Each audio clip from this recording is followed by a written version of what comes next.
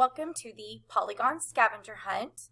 I am going to show you how you can do the scavenger hunt over the internet. So what you are going to do, and you can see that there are instructions over here on your right, what you are going to do is go over here where it says insert, hover over image, and click on search the web.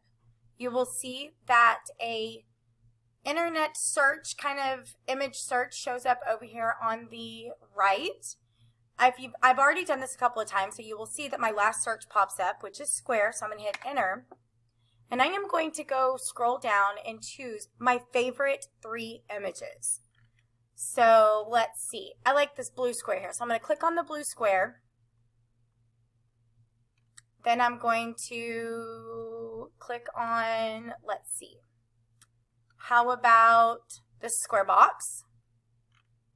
And how about this square right here? Did they all select? Let's go back. out. let's select this one again. For some reason it unselected. So if you see down here at the bottom, it says I have three selected. So I'm going to insert those. I'm going to warn you, these are going to come in pretty big. So here they are. And if you notice, they show up pretty big. So what I'm going to do is I am going to click on one. And I clicked out of them to unselect them. I'm going to click on the first one and I am going to drag the corner. And you do need to drag it from the corner to shrink it down so that it remains proportional. I'm going to do it to all three of them. And even my blue one. I am going to move them into my square labeled box.